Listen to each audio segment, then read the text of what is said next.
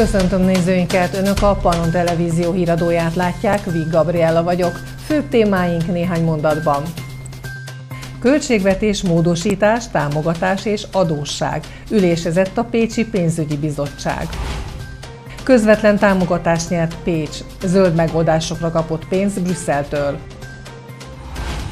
Múzeumok éjszakája Pécsen. Megnyílt az Egyiptom inspirálta alkotások kiállítása. Ákos turné 2024 a Made in Pécs Fesztiválon.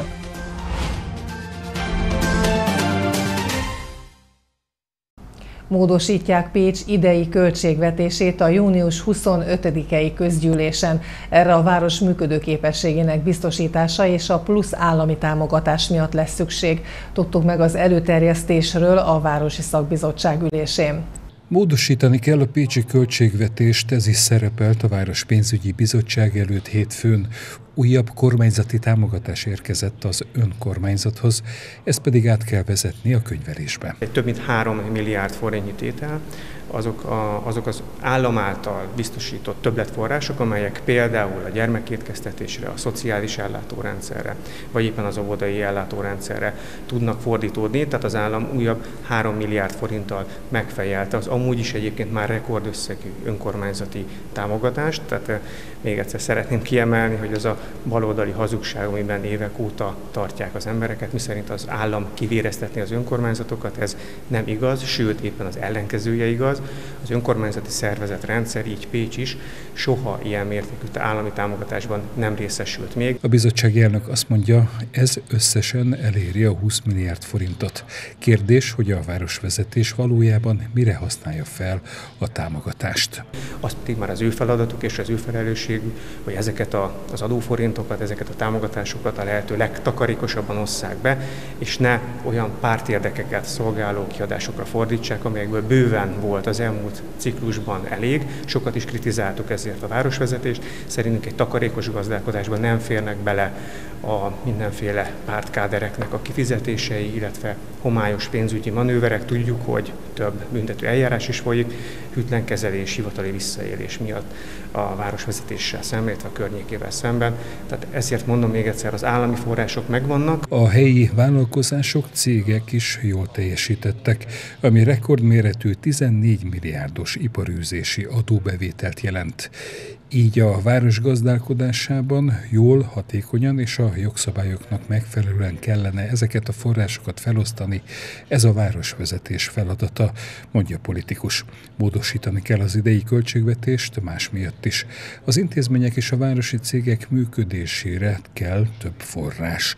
Ezt a baloldali városvezetés alul terveztem, ezért kell ezt most megtenni, tudtuk meg Csizmadia Pétertől. Támogatjuk azt, hogy a költségvetés olyan módon kerüljön módosításra, hogy azzal egy kiszámítható és biztonságos működése a, a városnak az biztosítható legyen, hogy a pécsiek azok ne szenvedjenek hiányt semmilyen szolgáltatásban, de hát ugye tudjuk azt, hogy van velünk egy komoly adósság, amelyet a következő két évtizedben görgetnünk kell magunkkal. Ugye ezt a pécsi köznyelv csak Péterfi adósságként emleget.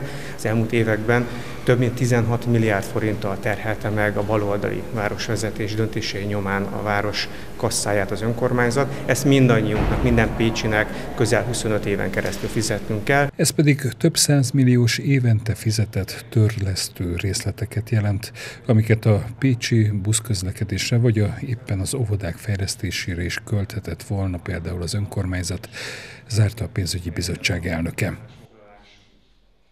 Közvetlenül kap támogatást Brüsszelből a Pécsi önkormányzat. 580 ezer euró érkezhet a városba. A Baranyai Vármegye székhely a klímasemleges európai városok programjában vesz részt. Az önkormányzaton kidolgoztak egy fenntarthatósági tervet, amire most érkezhet a mintegy 220 millió forintnak megfelelő összeg.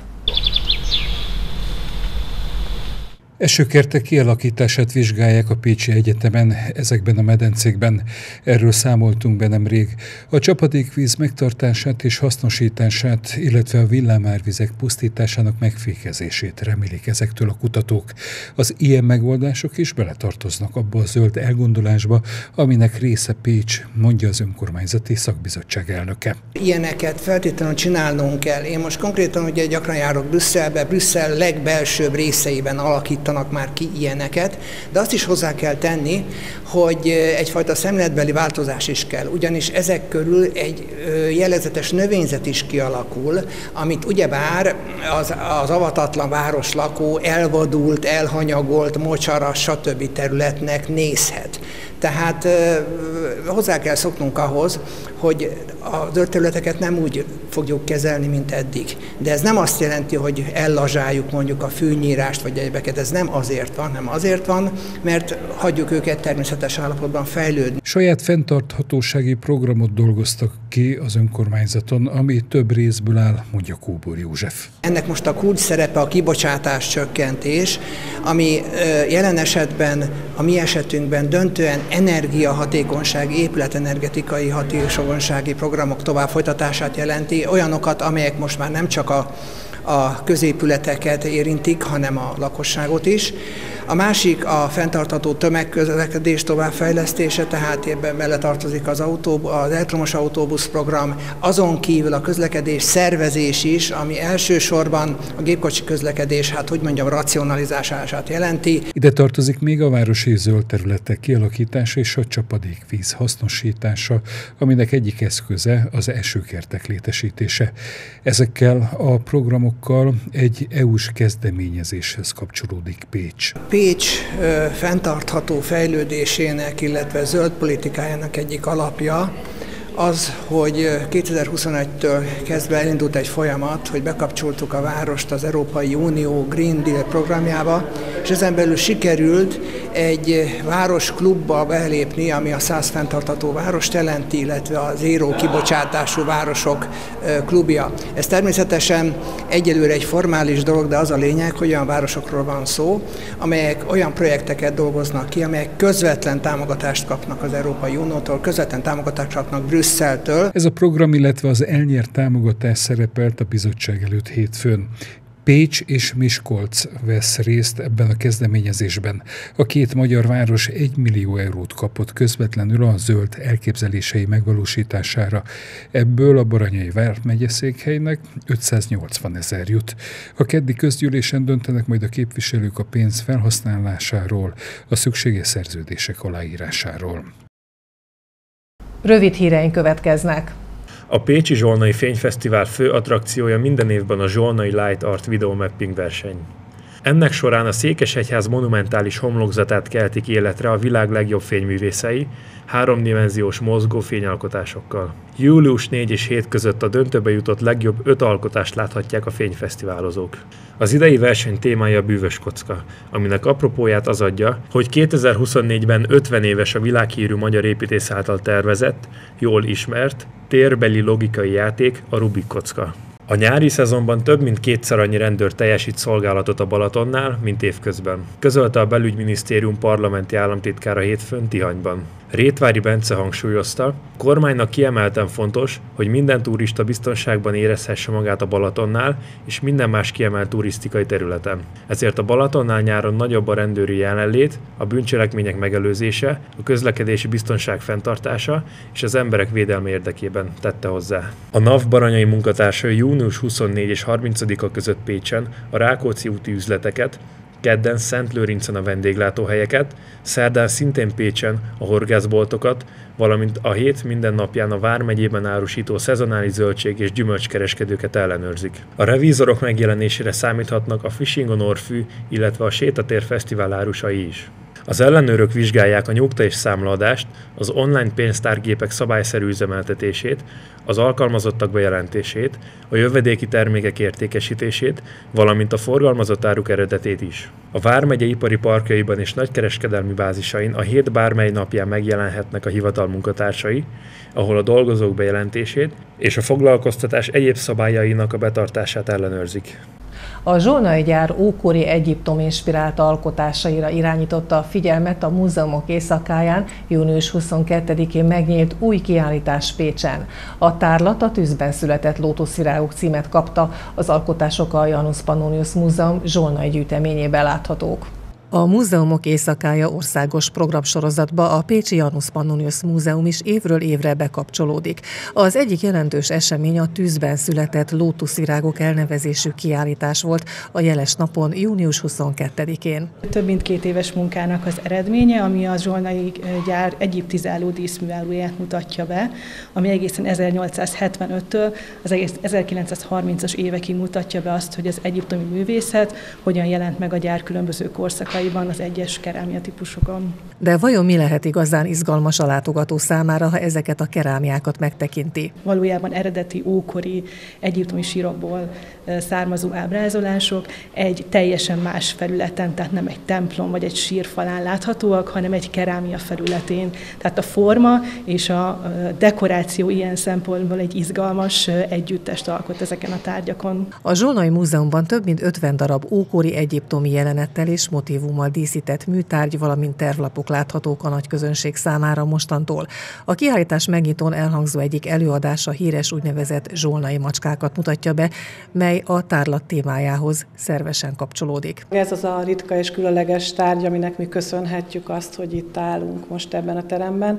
Ez indította el azt a kutatói munkát, amelynek az első állomása egy ilyen első lezáró szakasza ez a kiállítás. Tehát korábban már mindketten foglalkoztunk a zsolnai kerámia egyiptizáló stílusával, viszont amikor ezt a tárgyat megláttuk, akkor ráébredtünk, hogy megkerülhetetlen a gyár korai történetének a tanulmányozása. És onnan mi elkezdtük felgöngyöletteni a szálakat. Azért érdekes, mert van a Tutankámen néven ismerté vált vázasorozat, ezt szokták látni, a Lotus sorozatot szokták látni, gyűjtők nagyon jól ismerik, de az, hogy itt 1875-től a legkorábbi keleti motivumokkal megjelenik az egyiptomi vonal is, az eddig nem volt köztudott. A kiállítás átfogó képet nyújt az ókori Egyiptom inspirálta tárgyanyagról, amely végigkíséri a gyár történetét 1876-tól egészen az 1930-as évekig.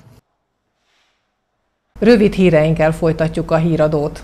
A Dunadráva Nemzeti Park közlése szerint csütörtökön, szombaton és vasárnap nem indult túra Szársomjóra. Ezt megelőzően és utána is a normál rendszerint indulnak a garantált túrák, szerdától vasárnapig naponta 10 órakor. A Villányi hegység legmagasabb pontjára, a fokozottan védett Szársomjó csúcsára a Dunadráva Nemzeti Park igazgatóság heti öt alkalommal indít garantált szakvezetéses túrát a Nagyharsányi szoborparttól egyéni turistáknak és csoportoknak egész évben folyamatosan. Megérkeztek az első vakációzók a nyári Balatoni Erzsébet táborokba, Zánkára és Fonyódligetre, tájékoztatta a családokért felelős államtitkár hétfőn az MT-t. Hornung Ágnes közleményében azt írta, a diákcsoportok augusztus 30-ig, vasárnaptól péntekig tartó turnusokban biztonságos körülmények között vakációzhatnak. A programok zöme élménypedagógiára épül, azok többségét a tábori animátorok tartják, akiknek felkészítését és képzését minden évben az Erzsébet Alapítvány végzi. Hornung Ágnes kitért arra is, hogy a családi táborokba, melyeknek hétvégenként zánkat helyett egyházi és szociális területen működő intézményeken, szervezeteken keresztül érkezhetnek a vendégek. Közöttük egyszülős családok, nagycsaládosok, valamint egyes típusú diabétesszel élő gyermekeket nevelő családok is pihenhetnek, írta, hozzátéve, a családokra a strandoláson kívül egyebek mellett sétahajózás, kézműveskedés, számos sportprogram, családi mozi és koncert is vár. Megérkezett Ákos, a Kossuth dalszerző, zeneszerző, zenész, énekes a in Pécs Fesztiválra. Az Ákos turné 2024 Pécsi koncertje nagy sikert aratott. A legismertebb dalok csendültek fel a Káptalan kertben, mint a fesztivál koncertjeinek állandó helyszínén. A teltházas buli emlékezetes élmény nyújtott rajongóinak. Az év koncertje díját nyert el nemrég a tavalyi nagy sikerű koncertjük, amely a 30 év címet kapta. A jubileumi koncert a szóló karrier három évtizedét kísérte kísérte végig. Ez a Győri Filharmonikus Zenekar és a Pécsi Voicingers kórus kíséretében zajlott. Két előadásuk volt az Operaházban, tavaly a Paplászló arénában telt ház előtt is bemutatták a jubileumi koncertet. Alig néhány héttel a jubileumi előadás sorozat után most az Ákos turné 2024 zajlik. Kvintetként játszanak a Káptalan színpadon. Bánfalvi Sanyi barátom üti a dobokat, Káló Peti basszusgitározik, Lepés Gábor billentyűzik, Madarász Gábor gitározik, mindannyian nagy mesterek, a maguk pozíciójában, jó magam pedig szorványos énekléssel és gitározással próbálok nyugalom megzavarására alkalmas hang- és képhatásokat kelteni. Ez az előadásunk, amit most játszunk itt Pécsett, ez ebben a sorozatban a negyedik. Kecskeméten, Nyíregyházan és Siófokon játszottunk, a három eladásunkat eddig 22 ezeren látták, úgyhogy mondhatom, hogy már egy szépen összepróbált, jól összecsiszolt műsort hoztunk Pécsre. Minden előadással az ember akár debütálhat is, tette hozzá Ákos. 36 éve áll a színpadon, de minden előadás számára az első. Úgy megyek a színpadra, mint hogyha most kéne bemutatkoznom, biztos lesz olyan ember, aki most lát először, biztos lesz olyan ember, aki esetleg rossz hiszemű, és valaki elrángatta magával számukra, mi debütálunk.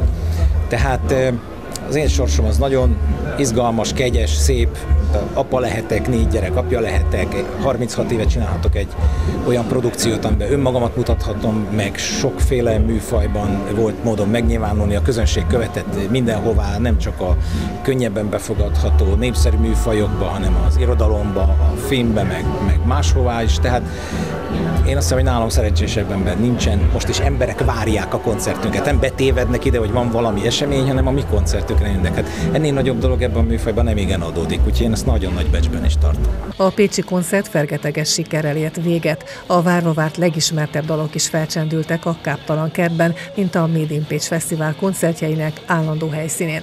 A teltházas buli emlékezetes élményt nyújtott rajongóinak. A régió híreivel folytatjuk. Az elmúlt hónapokban a magyar politikában és közéletben is többször felmerült a készpénz és bankkártya használat kérdése. Utóbbi egyre népszerűbb, így azonban a hagyományos fizetőeszköz idővel kiszorulhat. A vélemények ebben a témában is megoszlanak. A digitális fizetés kérdése az elmúlt időben az országos politikában is teret kapott. A Mi Hazánk mozgalom képviselői az országgyűlésben például többször is arról beszéltek, hogy a készpénz használatnak alkotmányos jognak kell lennie. Orbán Viktor miniszterelnök ekkor úgy válaszolt, hogy az ügyben könnyen szót tudnak érteni. Én általában bankkártyával fizetek, hát pénzt nem hordok magammal valami oknál fogva. Aztán jó, mit tudom én. Így kényelmesebb a kártyával? Kényelmesebb, persze érintés, aztán már ennyi az egész. A bankkártyás fizetés előnyei kapcsán a kényelmet többen is kihangsúlyozták. Kártyánkat mobiltelefonos applikációkkal is össze tudjuk kötni, sokak számára ez is előnyt jelent. Az, hogy nem kell izgulni, hogy elveszítem, bár az is meg lehet. De a telefonon rajta van az app és a kártya is, szóval ha elveszítem még a kártyát is, akkor a telefonon rajta van. Van olyan, aki a higiéniai szempontokat is szem előtt tartja. Nem piszkos, mert ki tudja, hogy egy fűnyíró, egy sertésgondozó tartotta a zsebébe a papírpénzt, én azzal nem szeretnék kenyeret fizetni. Akad, aki úgy véli, hogy tudatosabban tud gazdálkodni, ha készpénzt használ. Én amúgy bankkártyát szoktam használni, alapvetően már odaérkezik a fizetésem, de ö, jobban szeretem egyébként a készpénzes verziót egyébként, mert ö, egyébként szerintem jobban be tudom úgy osztani a pénzemet, hogy látom, hogy mennyit költök. Igazából ennyi, és a, szerintem a bankkártyán annyira nem érzi az ember a költésnek a súlyát. A készpénz használatot támogatók gyakran felhozzák érvként az adatvédelmet is. Ők biztosak akarnak lenni abban, hogy személyes információikat véletlen se fogják felhasználni más célokra. Letették az alapkövét a Tolna Mözsön felépülő futszálcsarnoknak. A város eredményei kiemelkedőek a sportákban, hasznukra válik majd a beruházás. Simon Ferenc elmondta, már régóta vártak ennek a csarnoknak a megépítésére. Hiányzott mindaddig, amíg Tolnán a teremsport olyan mértékű volt minden tekintetben, hogy harcoltunk a terembeosztásért akkor úgy megfogalmazott bennünk, hogy milyen jó lenne egy saját csarnok, de nyilván erről még álmodni se merhetünk. Az, hogy ebből most valóság lehet, ez, ez két éve indult el, amikor a Magyar Labdarúgó Szövetség futszál szakágvezetőjével a női futszal dolgait tárgyaltuk ki, és akkor említette meg, hogy az MLS-nek ez a projektje rövidesen elindul. Akkor még csak érdeklődve kérdeztem, hogy milyen esélye lett ilyenre pályázni, és végül is megvalósíthatónak találták. Weber Viktor, a projekt szakmai tanácsadója tájékoztatott minket az épülettel kapcsolatos részletekről. Ez 1250 négyzetméteres sportpálya fog megszületni, sportcsarnok. Ez egy modern vasbeton szerkezetből összerakott épületegyüttes lelátóval és sportpadlóval. Igyekeztünk a mai kornak megfelelően mindenfajta környezetudatos elemet is beépíteni, tehát hőszivattyús és napelemes rendszer is el fogjuk látni a csarnokot. Appel Szoffer Ágnes, a város polgármestere szerint a tolnaiak életében meghatározó a sport. Számos területen jeleskednek. Sok sportlétesítmény van a városban, de nem elég. Tehát mindig, amikor, amikor valami új épül, akkor, akkor mindig az is megtelik élettel és megtelik sportolókkal. Ugye régen volt a két klasszikusan nagy sportcsarnok, volt a városi sportcsarnok és a Lehel utcai sportcsarnok, illetve volt a, a az asztali teniszezők, vagy az asztali teniszezők használták a, a sportszékházat, és ez mind-mind kevésnek bizonyult. És aztán megépült a, az úszoda, ami szintén élettel telt meg, és nagyon sokan járnak úszni, és épült sportpálya a gimnázium udvarán, és az is tele van. A fiatalabb és a felnőtt generáció is izgatottan várja már a megálmodott épületet. Reményeik szerint a következő verseny évadra a felkészülés már ott fog zajlani. Továbbra is intenzív a szépkártya felhasználása. Idén január és május között 139 milliárd forintot használtak fel a kártyabirtokosok. Ez az összeg lényegében megegyezik a tavalyi év azonos időszakában elköltött összeggel. Szép ez a százhalombattai család rendszeresen visszajáró ebbe a siófoki szállodába. Mint mondják, nagy könnyebbség, hogy az öt tagúra bővült család szállását szép kártyával tudják fizetni. Nagyon jól jön, hogy a munkáltató ezt biztosítja, gyakorlatilag ezeket félretesszük, és ebből tudjuk ezt finanszírozni. A legtöbbször pihenésre, kikapcsolódásra használják fel a kártyán lévő egyenleget. Inkább a szálloda részesítjük előnybe, de gyakorlatilag, hogyha olyan programok vannak, amik így gyerekekhez köthetők, és azzal van lehetőség fizetni, akkor természetesen ott is fel szoktuk használni. Az elmúlt években folyamatosan nőtt az érintés nélküli, illetve a szépkártyával fizetők aránya a szállodában. A Covid óta elmondhatjuk, hogy az érintésmentes fizetési módok, így a szépkártya, bankkártya különösen erősödtek, ez nálunk 50% feletti, ezen belül a szépkártya 30%-ot meghaladó, úgyhogy igen, abszolút mondhatjuk, hogy a szépkártya meghatározó részét teszi ki a forgalmunknak. Biztatóak a nyári foglaltság gazdasági adatok is úgy tűnik erős szezon várható az idén is. Hál' Istennek nagyon erős tavaszunk volt, örömmel konstatáltuk, hogy nagyon magas foglaltság volt az évben egészen idáig. A a június egy árnyalattal nehezebben indult, ugye hosszabb volt a tanév, cserébe viszont ugye a téli szünet is hosszabb volt, ugye az év elején nagyon erősen indult. A június is szépen megtelt, most 80%-ot valamivel meghaladó foglaltsággal számolunk, viszont a július-augusztus az már most látszik, hogy kiemelkedő foglaltságot hoz idén is. A pihenni vágyók jelentős része már jó előre megtervezte nyári pihenését, és időben le is foglalta szállását. Annak, aki még csak most tervezi nyári szabadságát, nem érdemes túl sokáig várnia, hiszen a főszezon közelettével egyre kevesebb a szabadszállás a Balatonnál. Baranyai témáink még egyszer röviden. Költségvetés módosítás, támogatás és adósság. Ülésezett a Pécsi Pénzügyi Bizottság. Közvetlen támogatást nyert Pécs, zöld megoldásokra kapott pénz Brüsszeltől. Múzeumok éjszakája Pécsen. Megnyílt az Egyiptom inspirálta alkotások kiállítása. Ákos turné 2024 a Made in Pécs Fesztiválon.